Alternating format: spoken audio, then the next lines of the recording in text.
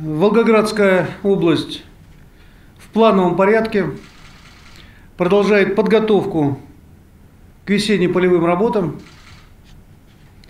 Сельхоз товаропроизводители Волгоградской области завершают формирование необходимого запаса семян.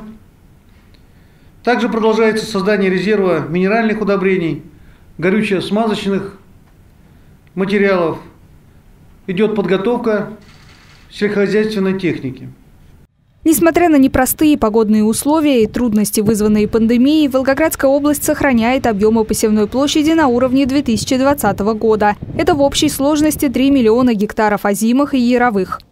Объективно вызывает серьезное опасение состояние озимых.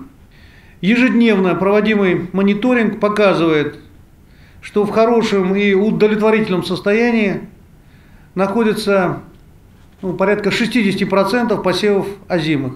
Негативно повлияли недостаток влаги в почве осенью и зимой и резкие перепады температур. Нынешнее сильное похолодание до минус 30 по северу области может оказаться критическим для озимых культур. Поэтому специалисты заранее готовятся к разным сценариям.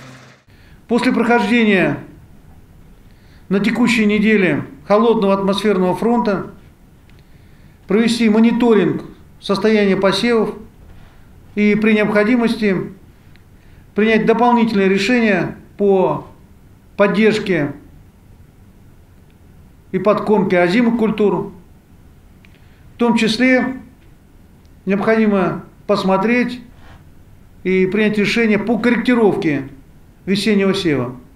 Провести все необходимые весенние работы аграриям поможет господдержка.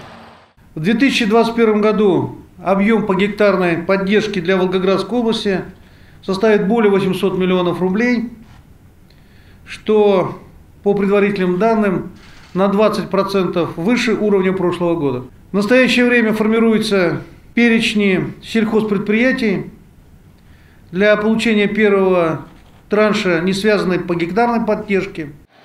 Прием документов от аграриев продолжается. В ближайшее время в районах области начнутся традиционные встречи с селянами, чтобы с участием властей, специалистов, ученых разработать оптимальный план проведения работ. Губернатор поставил задачу четко придерживаться графика финансирования АПК. Первый транш компенсирующей поддержки выплатить до 20 марта текущего года.